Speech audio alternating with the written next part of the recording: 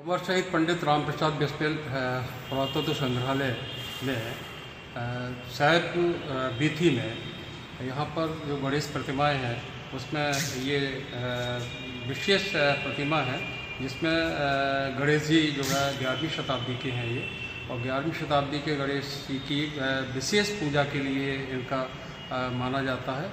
इनमें बाहीं सूढ़ बाहीं तरफ़ सूढ़ है, और नीचे मोदक है, जो लड्डू है और इस तरह से ये गणेश अपने आप में विशेष पूजा के लिए बहुत ही महत्वपूर्ण प्रतिमा है। और ये ग्यारहवीं शताब्दी की शोहनिया क्षेत्र से प्राप्त प्रतिमा है।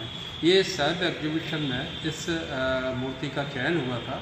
सैद एग्जीबिशन के लिए यहाँ से दो मूर्तियों का चयन हुआ था।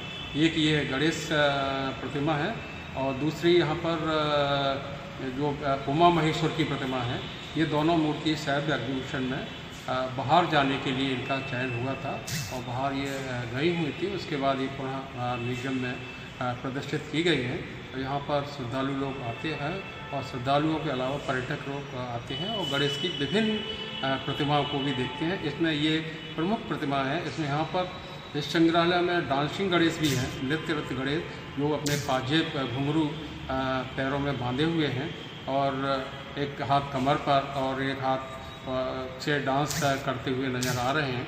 इस तरह की यहाँ प्रतिमाएँ गणेश जी की हैं और इसमें ये जो प्रतिमा है वो विशेष प्रतिमा है जिसका पूजा अर्चना विशेष रूप से किया जाता है। घर रखे गए हाँ। ये इस तरह की प्रतिमाओं को अ, कुछ जो है तस्कर लोग होते हैं जो मूर्ति तस्कर होते हैं वो अ, इस प्रतिमा को अ, ले जा रहे थे जिसको बाद में इसको प्राप्त किया गया उनसे छुड़ाया गया और वह तस्कर लोग भाग गए थे।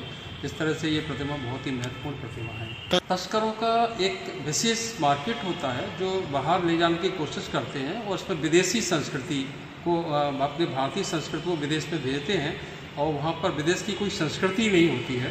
वो अपनी यहाँ की, इंडिया की संस्कृति, भारत की जो संस्कृति होती है उसको वहाँ पर बताते हैं कि ये हमारी संस्कृति है जबकि वहाँ कोई इस तरह का प्राचीनतम और इस तरह का कोई उनकी संस्कृति नहीं है। क्या पैसे आते हैं? हाँ ये तस्कर जो है यहाँ पर अ, कुछ ही पैसों में अ, इसको लोगों से क्षेत्र से उठा के ले जाते हैं और विदेश में या बाहरी तस्कर जो यहाँ होते हैं इंटरनेशनल तस्कर उनके द्वारा ये खरीद कर बेचा जाता है। मुरैना में ये कब से है?